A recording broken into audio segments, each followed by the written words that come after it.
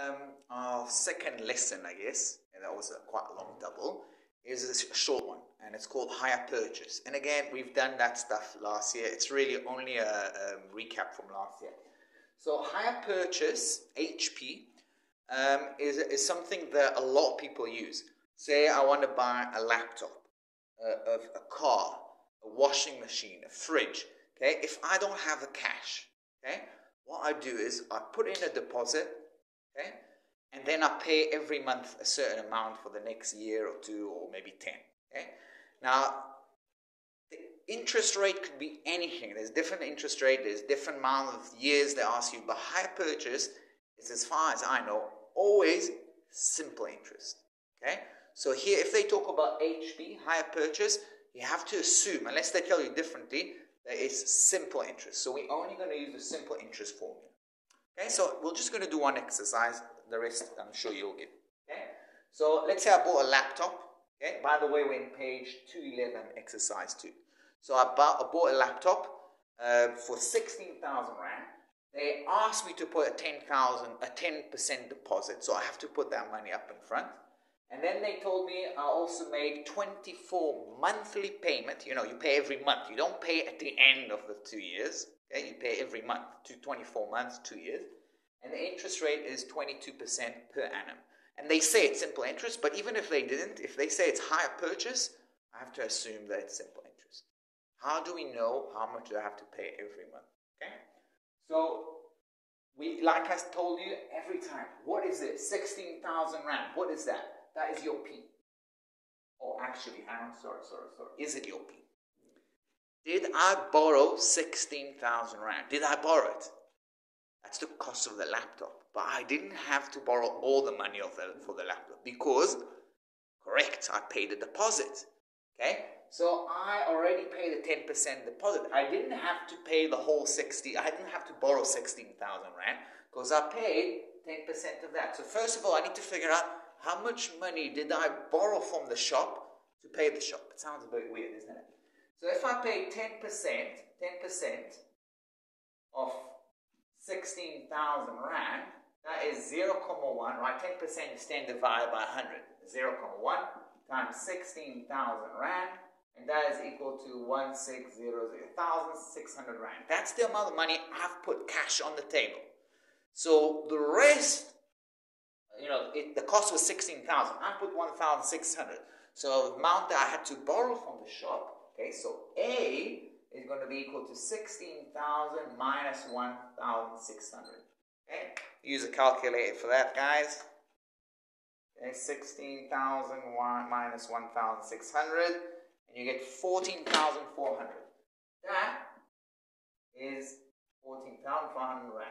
That's the amount of money I borrowed from the shop. The cost of the laptop, don't get confused here. Cost of the laptop was 16,000. I had to put 1,600 cash. That means the rest of the money I will have to pay over the next two years. But I'm not going to pay just that. I'm also going to have to pay interest. So if you're going to go and say, okay, I borrowed 14,400 Rand, and then I'm just going to divide by 24 months, that's going to be completely wrong because obviously they charge you interest. So that is your A. Sorry, not your A, your P. That's the amount of money that I borrowed in the beginning. P. Okay? Great. Your interest is 22%. So that's your R. Your I is 0.22 divided by 100. The time, okay, what is your time? 24 months. If you use 24 months, you will make a mistake because the interest is calculated per annum, per year. So you have to work with years. So your N is going to, I'll write it down here. N is going to be equal to two years. You're working with years. Okay?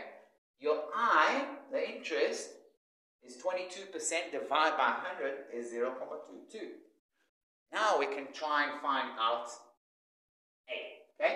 What is A? A is going to be equal to P, which is 14,400 times 1 plus I, which is 0.22, times 2 years.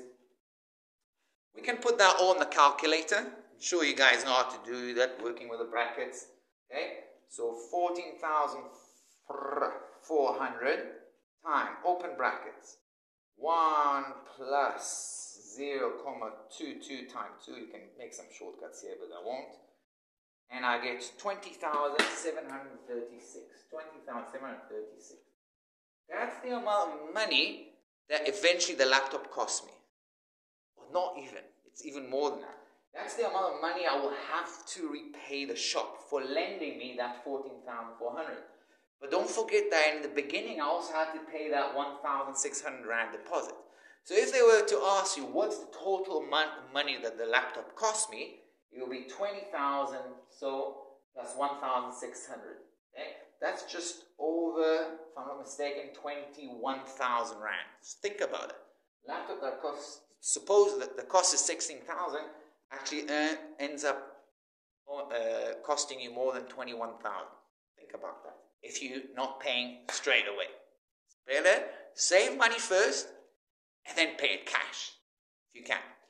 Right, but that's not the question they asked me. What they asked me is, what are my monthly payments? So my monthly payment, it's an easy question.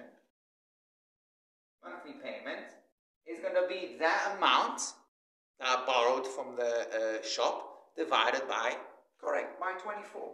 Okay? So if I had to pay that over 24 months, every month I'm going to have to pay 864. 864 and hopefully I didn't make a mistake. That's the answer. Just going to pause here and see if there's anything else I need to add. I forgot. Okay, um, I'm just going to add one more little example. I'm not going to solve it completely, or I'll get you started, just in case you know some of you struggle with that in exercise. So this is example of a mobile phone, costs 8,000 Rand. You ask my, me, it's way too expensive. Mine costs 750 and it's perfect. It's doing these lessons now. Okay? So 8,000 phone, uh, you have to put a deposit of 800 Rand and you have to pay 36 monthly payment of 344 Rand every month. Yo, that's a lot. Okay? And the question was, what's the interest calculated? That's what we want to know, the interest. So let's just get it started. So if I pay the 800 deposit, then I didn't borrow 8,000, right? How much did I actually borrowed? What would be my P? Okay, the initial amount that I borrowed, it will be 8,000 minus 800, which is 7,200 Rand. That's, that's my P. Okay, that's my P. Uh, 36 payment, a 36 monthly payment, that means that your N, the number of years, because we're working with interest per annum eventually. So we got to work with years. How many years is that? That is uh, three years. Is that right? Oh, yeah, three years. Okay. So I want to know now. So I know N, I know P. I want to know what I is. That's what I'm trying to look for. I, and then I can calculate R. So I'm still missing one thing, isn't it? I'm missing A. I need to find out A. What is A? A is the amount of money that I paid back the shop. I borrowed 7,200. I paid A. How do I calculate A?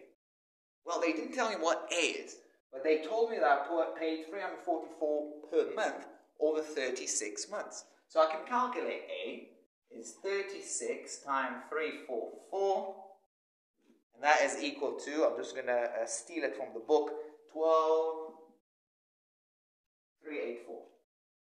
Okay, so that's the amount of money that I borrowed from the shop, 7,200.